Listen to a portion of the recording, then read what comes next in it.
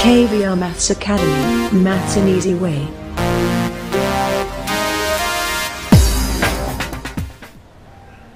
Hi viewers, welcome to KVR Maths Academy. In this video, let's discuss exercise 3.1 in coordinate geometry of AP 9th class mathematics. Right? Yes, before doing these problems, viewers, please subscribe my YouTube channel. Those who are not subscribed yet. Thank you. Yes, let's go through this. Yeah. See, this is the first question.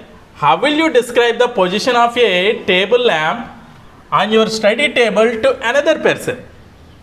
How will you describe the position of a table lamp on your study table to another person అంటే నువ్వు కూర్చునే table మీద table lamp ఉంది so ఆ table lamp యొక్క position గురించి నువ్వు మీ ఫ్రెండ్కో ఎవరికో ఏ విధంగా డిస్క్రైబ్ చేస్తావో అని అడుగుతున్నాడు సో ఇది మనకి ఆన్సర్ చెప్తూ డ్రా చేయడం కొంచెం టైం టేకింగ్ కాబట్టి లెంత్ వీడియో అయిపోతుంది కాబట్టి ముందే టేబుల్ డ్రా చేసాను అదేవిధంగా సొల్యూషన్ కూడా రాసేసాను. రైట్ ఎస్ చూద్దాం. అంటే ఇది నీ యొక్క స్టడీ టేబుల్ అనుకుందామా? అనుకొని ఈ టేబుల్ ల్యాంప్ అనుకుందాం ఇది. ఈ టేబుల్ ల్యాంప్ యొక్క పొజిషన్ ఏ విధంగా ఎక్స్ప్లెయిన్ చేస్తాం మీ ఫ్రెండ్కి? Let us see. Solution to describe the position of the table lamp on the study table consider the table as a plane consider this table as a plane take the horizontal line as X axis take the horizontal line ఇది X axis కింద next and vertical line as Y axis vertical line ఇది why axis కింద తీసుకోవాలి actually ఇక్కడ మనకి table క్రాస్గా అనిపిస్తుంది కాబట్టి ఇది క్రాస్గా ఉంటుంది లేకపోతే కనుక మనకి పెర్పెండిక్యులర్ లైన్ మామూలు టేబుల్ తీసుకుంటే కనుక ఏదైనా సరే ఇది లెంత్కి బ్రెడ్త్ ఎప్పుడు కూడా పెర్పెండిక్యులర్గా ఉంటుంది కదా.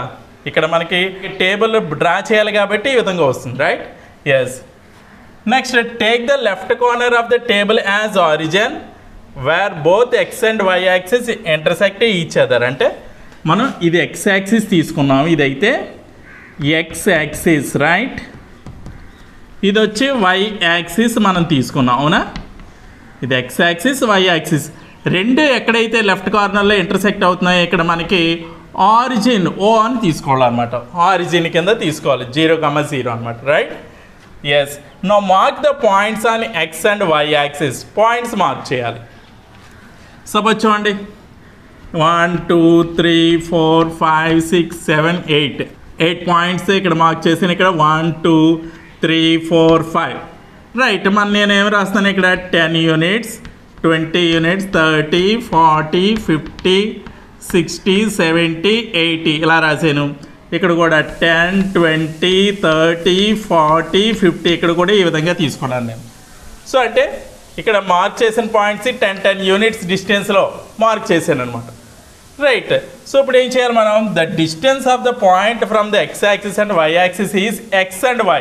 X comma Y అనమాట అంటే X comma Y coordinates. These are all right అంటే ఇక్కడ మనం ఎక్కడైతే ఈ పొజిషన్ ఎక్కడైతే ఉందో ఎక్స్ యాక్సిస్ పెర్పెండిక్యులర్గా అదేవిధంగా వై యాక్సిస్ పెర్పెండిక్యులర్గా మనం లైన్స్ డ్రా చేయాలి. చూడండి ఈ పొజిషన్ ఇక్కడే ఉంది కదా? ఎక్స్ యాక్సిస్ పెర్పెండిక్యులర్గా ఒక లైన్ డ్రా చేసింది. చూడండి అది ఫార్టీ దగ్గర ఇంటర్సెక్ట్ అయింది. అదేవిధంగా ఎక్కడి నుంచి? వై యాక్సిస్కి ఇక ఎక్కడ థర్టీ దగ్గర ఇంటర్సెక్ట్ అవుతుంది అనమాట దీని పొజిషన్ వచ్చి. అవునా?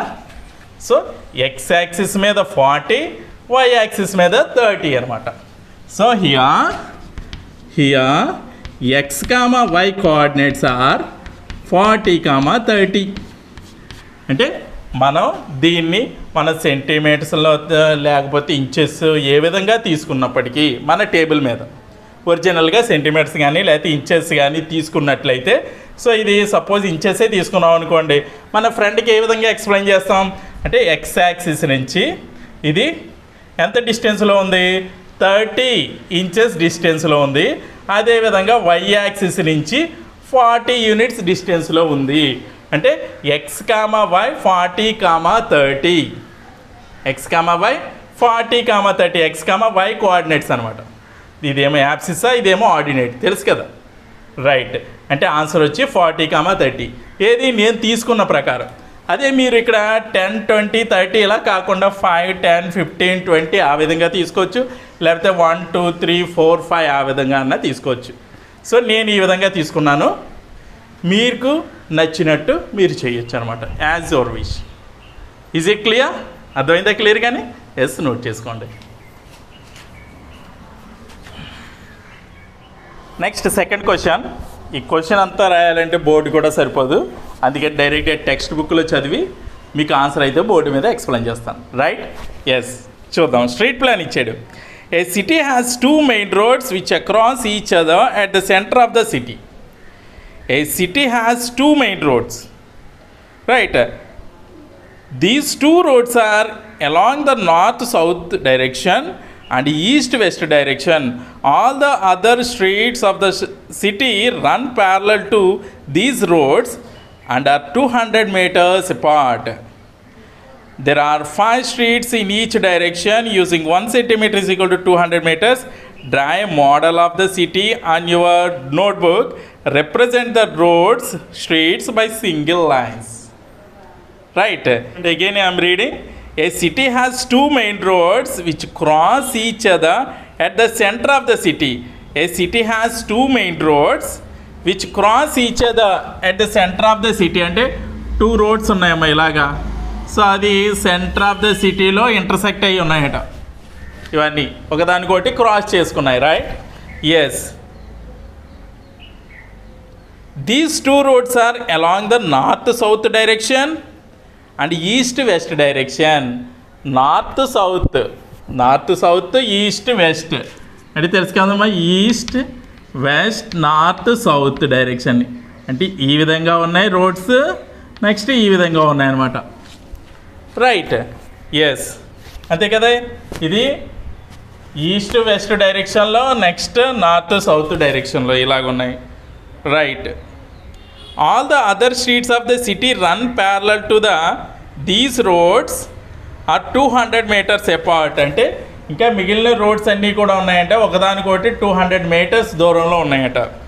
So these are five streets in each direction five streets in each direction అంటే ఇలా one two three four five again each direct one two three four five right yes yes using 1 centimeter is equal to 200 meters draw a model of city in your notebook. Represent the roads street by single అంటే మీరు notebook తీసుకొని అందులో one centimetre is equal to two hundred యూనిట్స్గా మనం two hundred మీటర్స్గా represent చేయాలంటే ఇక్కడ వ ఇది మనకి one two three four five centimetres అలా అలా తీసుకోవాలన్నమాట కానీ మనకి మాత్రం two hundred four hundred metres అంటే టూ హండ్రెడ్ మీటర్స్ ఈ రెండింటి డిస్టెన్స్ ఈ రెండింటికి మధ్యలో మళ్ళీ టూ హండ్రెడ్ ఆ విధంగా వచ్చేటట్టు మనం డ్రా చేసుకోవాలన్నమాట.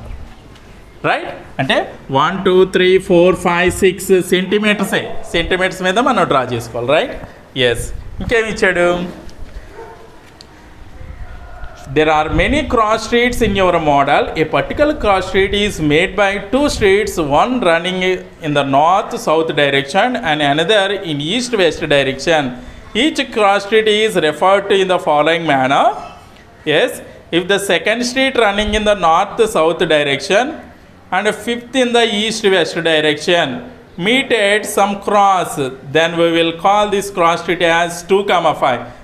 Using the convention, find how many cross streets can be referred to as 4 comma 3. How many cross streets can be referred to as 3 comma 4. అంటే ఇక్కడ చూడండి మనకి ఇది మనం one two three four five ఎలా చేసుకుంటున్నాం ఇక్కడ కూడా అంతే one two three four five right అంటే వాడు ఏమిచ్చాడు if the second street running north south direction second street running north south direction అంటే ఈ స్ట్రీట్ అవునమ్మా? Yes next fifth street fifth in the east west direction fifth in the east west direction అంటే ఇది. కదమ్మా ఈ street రెండు కలిపి కలుసుకునే చోట అంటే ఎక్కడైతే క్రాస్ అయినాయో దీన్ని మనం అక్కడ ఏమని చెప్తున్నాడు? Two comma five two comma five అనేసి అయితే చెప్తున్నాడు వాడు. అంతే కదమ్మా? అంటే second street in the north south direction fifth street in the east west direction రెండే కలిసే చోట. ఎక్కడైతే క్రాస్ చేస్తున్నాయో అవి టూ కామా ఫైవ్ అని రిప్రజెంట్ చేసాడు సో అదేవిధంగా how many cross streets can be referred as four comma three four comma త్రీకి ఎన్ని క్రాస్ స్ట్రీట్స్ రిప్రజెంట్ చేసి ఉన్నాయి? అలాగే how many cross streets can be referred to as three comma four three comma ఫోర్కి ఎన్ని ఉన్నాయని అడుగుతున్నాడు. ఎస్ చూడండి. యాక్చువల్లీ ఫోర్ కామా త్రీ కంటే నార్త్ సౌత్ డైరెక్షన్లో ఫోర్ కామా ఫోర్త్ స్ట్రీట్ ఇది తీసుకోవాలి మనం. అవునమ్మా? నెక్స్ట్ ఈస్ట్ వెస్ట్ డైరెక్షన్లో థర్డ్ స్ట్రీట్ ఇది తీసుకోవాలి. సో ఇక్కడ రిప్రజెంట్ చేయాలి. ఏంటి ఇది మనకి? ఫోర్ కామా త్రీ ఎన్ని క్రాస్ స్ట్రీట్స్ ఓన్లీ వన్నే కదా? Only one cross only one street right మరి అదేవిధంగా త్రీ కామా ఫోర్ కూడా అడుగుతున్నాడు. అంటే నార్త్ సౌత్ డైరెక్షన్లో third street right and east west డైరెక్షన్లో ఫోర్త్ స్ట్రీట్ అంటే ఇది. ఇది ఎలా ఇలాగ ఎన్ని వచ్చినాయి? ఇది కూడా ఓన్లీ వన్నే ఇది three comma four three comma four ఎన్ని స్ట్రీట్స్ అమ్మా? This is also referred as only one street అర్థమైంది కదా క్లియర్గానే ఎస్ ఈ విధంగా ఇది రఫ్గా డ్రా చేశాను నేను ఇప్పుడు.